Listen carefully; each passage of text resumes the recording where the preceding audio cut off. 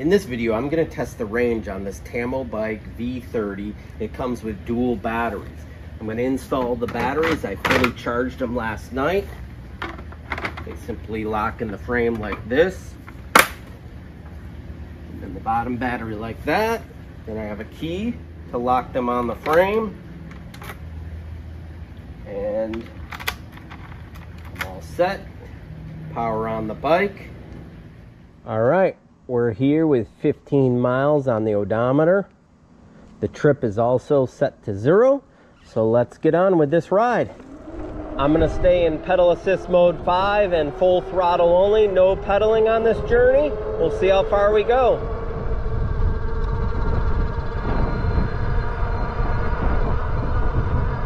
All right, I got the cruise control on.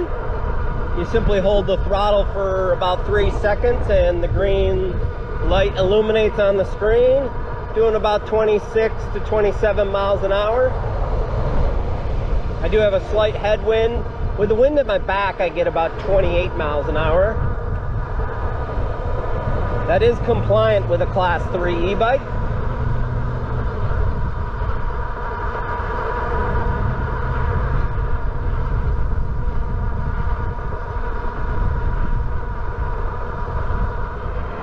We got a bridge here, a hill. I got the throttle pegged.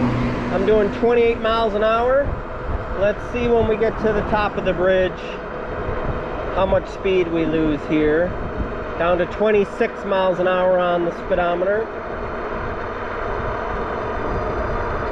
25. 24. 24.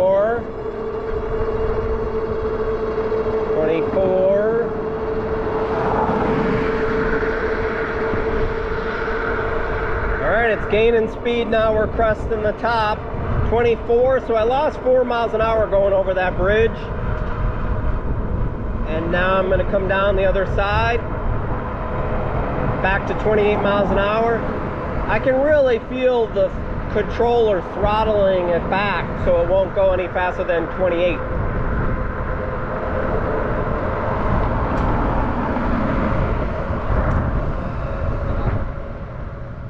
Now that I'm stopped, it looks like I've used up one bar of battery and I've gone 12 and a half miles. So let's keep motoring. Okay, I'm at 22 miles on my test here. Down to about two or three bars, so I'm halfway through, I think. So we'll keep going and see how far we can get. I'm at 26 and a half miles things are still going pretty strong. It's nice and comfortable ride. Been on the bike for a little over an hour.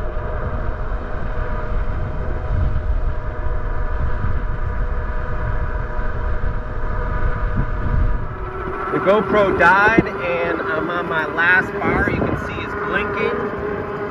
I can get to about 22, 23 miles an hour. I've gone 40 and a half miles. Pretty respectable for the dual batteries. I'm sure I could get further if I were to pedal or stay in pedal assist mode 4 instead of 5. I'm gonna call it here. I was able to get 44.1 miles of range on this. I checked it with the app. It came up 44 and a half miles. I'm pretty happy with that, all things considered. Now this was in pedal assist mode 5, the highest mode of throttle only, no pedaling. Now you could get further and you could go farther if you were to pedal or go down to a lower speed. You might get less results if it's colder weather or you live in a hilly area. Now this was Florida, so it's relatively flat ground, but you can see in the video, there was some hill climbs over some of the lift bridges, but overall, I'm pretty happy with those results.